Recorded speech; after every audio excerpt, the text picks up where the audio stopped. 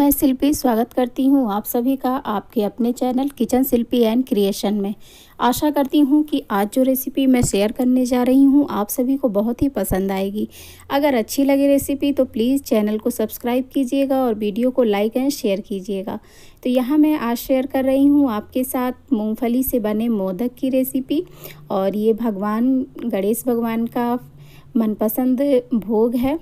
तो और भगवान श्री गणेश जी का दिन भी चल रहा है तो उन्हीं के उपलक्ष्य में आज मैं ये थाली यानी कि मोदक की रेसिपी बनाई हूँ।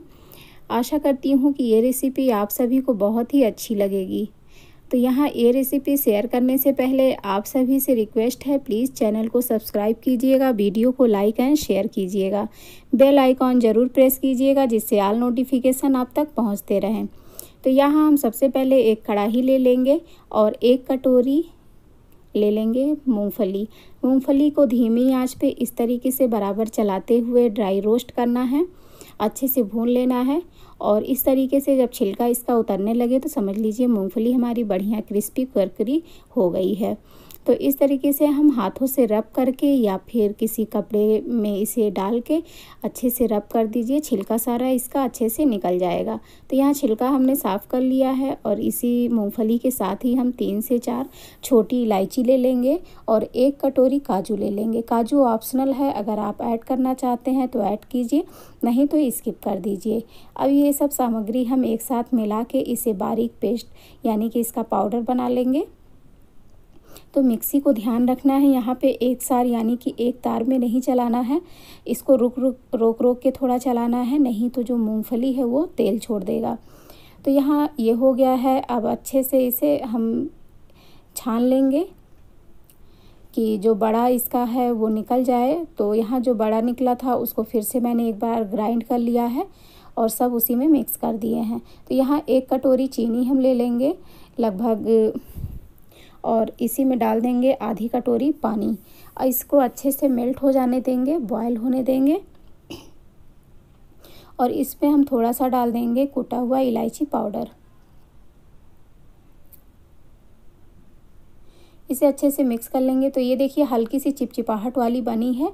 बिल्कुल एक तार भी नहीं बन रहा है ठीक से। तो इसी तरीके का बस हमें चाहिए क्योंकि इससे, इसके लिए तार नहीं बनाना है। और यहाँ हम इसे थोड़ा थोड़ा करके ऐड करके अच्छे से इसमें मिक्स कर देंगे, जो हमारा ये पाउडर बना हुआ है।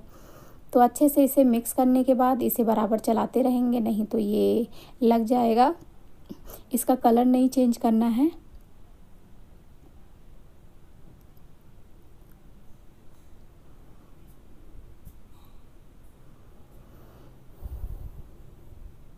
गैस फ्लेम को हम बिल्कुल लो पे ही रखेंगे।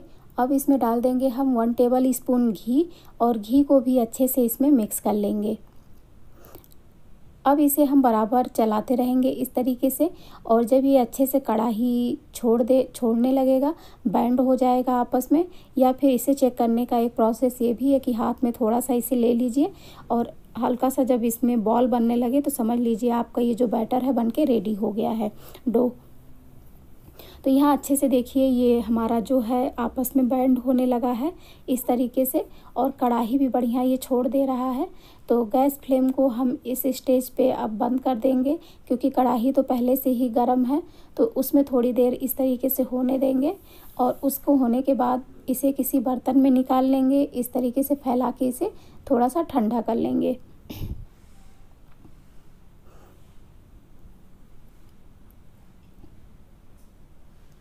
तो इसी में हम डाल देंगे ये ड्राई रोस्ट किया हुआ थोड़ा सा गुलाब है। तो इसमें गुलाब की पंखुड़ियाँ, इसमें डाल देंगे, थोड़ा सा पिस्ता डाल देंगे। आप कोई भी ड्राई फ्रूट्स डाल सकते हैं, जो भी डालना चाहें या फिर उसे स्किप भी कर सकते हैं। इसी तरीके से आप स्टफिंग करके भी बना सकते हैं। अब इसे अच्छे से हम इस तरीके से हाथों से मिक्स कर लेंगे। अगर ये हाथों में चिपके तो थोड़ा सा घी लगा लीजिए हाथ में।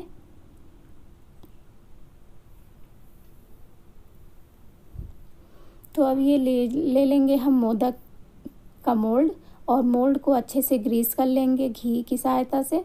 अब हम इस तरीके से थोड़ा सा पिस्ता गार्निशिंग के लिए लगा देंगे। आप चाहें तो ऊपर से भी लगा सकते हैं। तो यहाँ मैंने इसी तरीके से लगा दिया था। अब इसे हम मोल्ड को फिल कर देंगे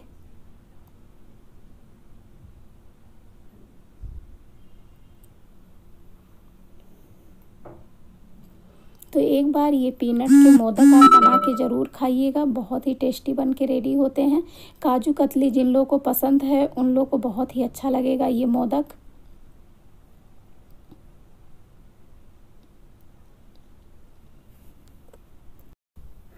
तो इसी तरीके से हम सारे मोदक को रेडी कर लेंगे, बना लेंगे। तो यहाँ मैं एक और फिल करके इस तरीके से दिखा रही हूँ। इसी तरीके से आप बिना मोल्ड के भी बना सकते हैं। अगर आपके पास मोल्ड नहीं है तो उसे भी हाथों में लेकर और किसी चाकू या चम्मच की पीछे के साइड के साइड से डिज़ाइन बना दीजिए कट करके। वो मैंने हाथों से बना के नहीं दिखाया आपको। उसके लिए माफ़ कीजिएगा। तो यहाँ इस तरीके से अच्छे से इसे हम फिल कर लेंगे और फिल करने के साथ साथ इसी तरीके से सारे मोदक भी अपने हम रेडी कर लेंगे। तो यहाँ देखिए हमारे सारे मोदक बन के रेडी हो गए हैं भगवान को भोग लगाने के लिए। तो इस तरीके से इस गणेश उत्सव में आप ये पीनट के मोदक बना के रेडी कीजिए। आशा करती हूँ कि ये रेसिपी आप सभी को बहुत ही पसंद आएगी। बब बाय टेक केयर